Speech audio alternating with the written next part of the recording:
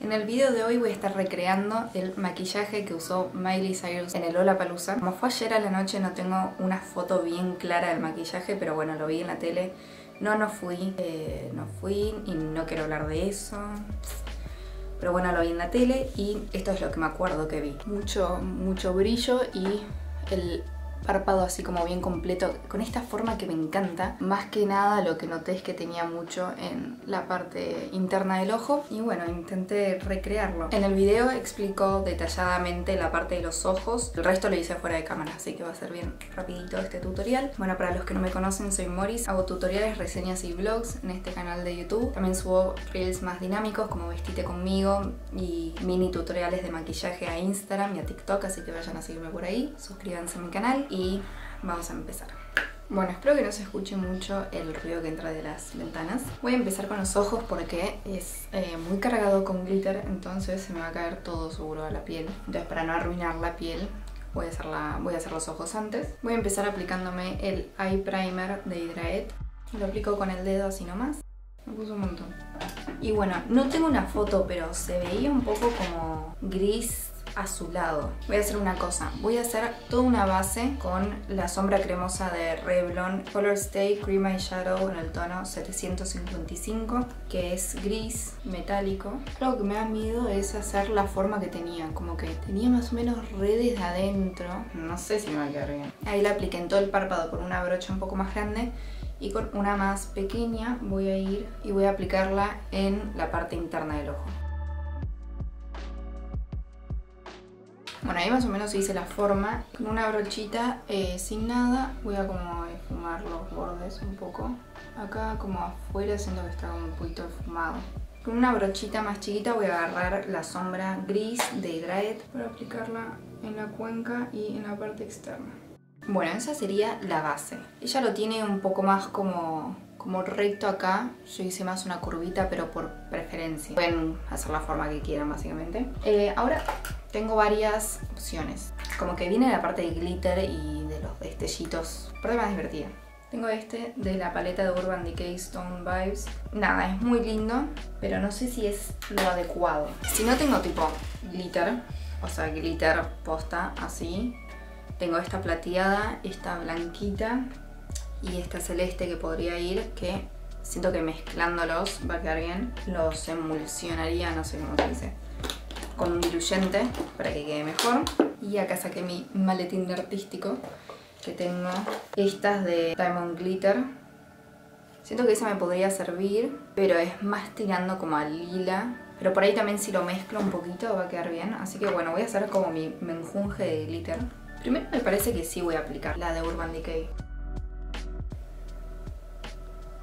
Uh, es buenísimo. Luego como tengo una base oscura, Siento que no se iba a ver tan clarita. Ah, ¿no? Falta el glitter. Me parece alto make-up para, para el escenario el que se hizo. Vale, que le hicieron. Como diluyente voy a usar el Makeup Mix and Fix diluyente fijador, que es como siliconado y sirve para diluir polvos tipo sombra y hacerla, hacerla delineado y eso. Pongo una gotita en la paleta. Mi alfombra va a quedar toda llena de glitter. Quiera o no. Me parece que el plateado que está como en el potecito grande. Tiene partículas muy grandes. Me quedo así.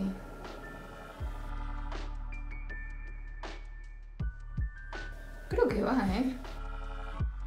Se me complicó un poco en, este ojo. Lo limpito que me quedó este y este tengo todo en la cara.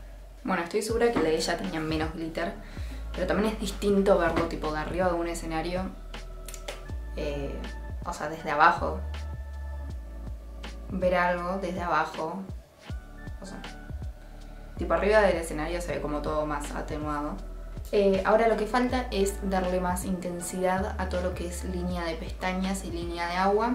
Ella no se ve que tiene, o sea, no parece que sea parte del look tener como todo delineado y esfumado, pero es como muy necesario cuando tenés algo clarito y fuerte volver a oscurecer todas las pestañas y la línea de agua porque se pierde. Así que voy a usar el Soft Touch Waterproof Eye Pencil de Hydraet. O sea, me voy a concentrar en dar bien todos los agujeritos que haya entre las pestañas. Como que quiero que quede todo bien negro. Bueno, ahí quedó súper oscuro. No me acostumbro a verme así, para nada.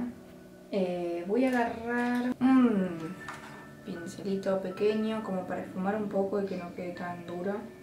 Voy a arquear las pestañas. Y ahora eh, básicamente es poner la mayor cantidad de máscara de pestañas que se pueda. Voy a empezar con un primer de pestañas de Emilia. Sigo con la máscara de pestañas de Hydrate, la Supreme Volume Mascara en el tono Black. Lo voy a usar con un cepillito descartable porque la uso para trabajar. Me parece que voy a poner una máscara de pestañas más, que es la Amor a Primera Vista de Vogue. También es waterproof, así que me voy a botear en un futuro, porque esta me recuesta sacarle las pestañas, más si pongo 800 capas y 800 máscaras de pestañas. Esto lo que voy a hacer es alargar un poco más las pestañas por el tipo de, de cepillito. Ahí va, nunca tuve las pestañas así.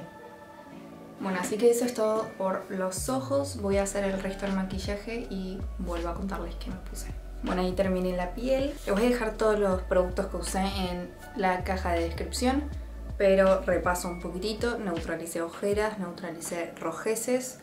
Usé la base de Hydraet, la Pro Hyaluron Lightweight, que no la usaba hace bastante porque estaba usando la de Dior nueva, obviamente. Y me encanta. O sea, me di cuenta que, que es buenísima. Bueno, tengo que probar mezclar la Hydraet y la de Dior, seguro quedan re bien. Eh, hice lo de las cejas. Usé este. Lo que hice fue descargar todo el cepillito, tipo raspar bien, bien, bien y que no quede como ningún producto que se vea, que estén tipo libres los pelitos. Con la mano bien ligera, tipo poquitito pasé y creo que quedó bien ahí. Como rubor usé el mezclé una de las tintas de Revlon con el de Andrea Pellegrino, más así naranjita y puse el rubor en polvo, el nuevo que me compré en el tono Watermelon y después bronzer de L'Oreal, labios, tonos nudes más tirando a rosados y listo, así quedó, me encanta, quedó re copado siento. Pero bueno, espero que les haya gustado este tutorial de la recreación del make-up de Miley. Acuérdense de suscribirse a mi canal y de seguirme en Instagram y en TikTok. Y bueno, nos vemos en el próximo video.